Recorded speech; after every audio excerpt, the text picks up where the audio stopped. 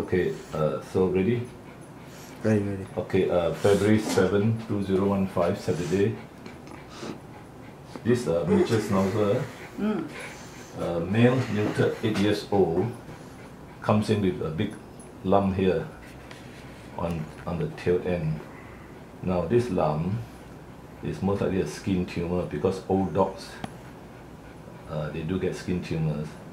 So, the, the treatment is to excise it, it means to cut it off and send to the lab for to check. Uh. Then if it's cancerous, of course, then then uh, maybe you have to cut off the whole tail. of it. Not if it's cancerous, otherwise it will come back again. See, it will spread. Uh. No medication. No, no, there's no treatment. Uh, drugs are you talking about? Oh, There's no drug. Uh. I cannot. No, no, I'm just saying if it's cancerous. Uh. If it's not cancerous, then of course, then of course, uh, you know also. Uh. So the, the, the trouble. Mm, the problem is that the skin is very hard to stitch up here.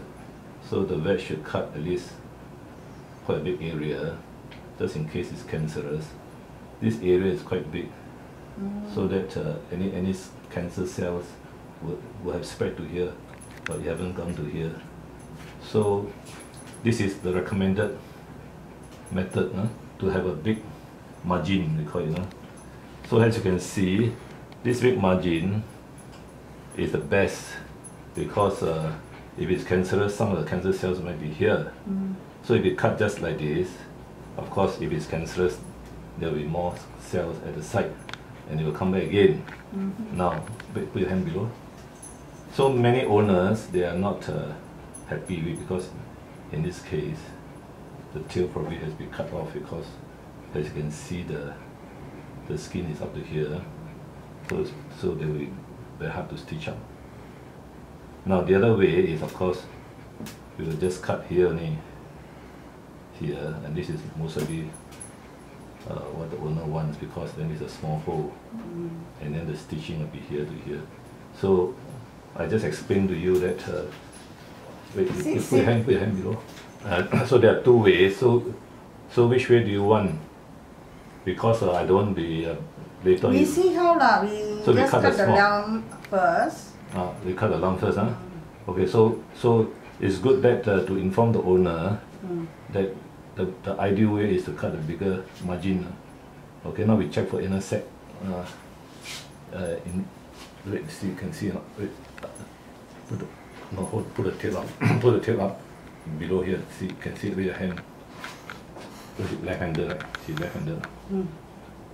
Can see it? Any oil come out? Any oil. Wait, let me feel first. Huh? It's further in, eh? Here, here, further in. Now you can video, it's further in like that. You can video from below. You, you gotta come down below. The camera is below here. So one, uh, so you can see that there's a lot of oil, but still some more here. Now you put your hand below, you put your hand below, so support. And uh, that's actually two pieces can already. So many, so many you cannot press, is it?